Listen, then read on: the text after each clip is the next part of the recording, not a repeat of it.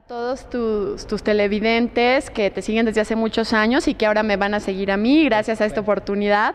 Les deseo que haya mucha paz y armonía. Ahora sí que va a sonar a cliché, pero es la verdad en sus hogares, en sus corazones, y sobre todo que luchen por sus sueños, que nadie venga a decirles que no pueden, porque si nosotros les tuviéramos hecho caso, Oscar, tú y yo, y todos los actores a quienes nos dicen que no podemos, que no es lo nuestro, bueno, no estaríamos aquí, ¿no? Entonces hay que aferrarse a sus sueños, hay que luchar por ellos, hay que, eso sí, ser muy realistas en cuanto, bueno, tampoco nada más sueñes y no hagas nada por alcanzar ese sueño, ¿no? Como dicen, a Dios rogando y con el mazo dando. Entonces, eh, que sean felices, díganle mucho a sus seres queridos cuánto los quieren, no de nada por este su puesto, díganselos, abrácenlos y vivan cada instante increíblemente que estas fechas se pasan muy rápido.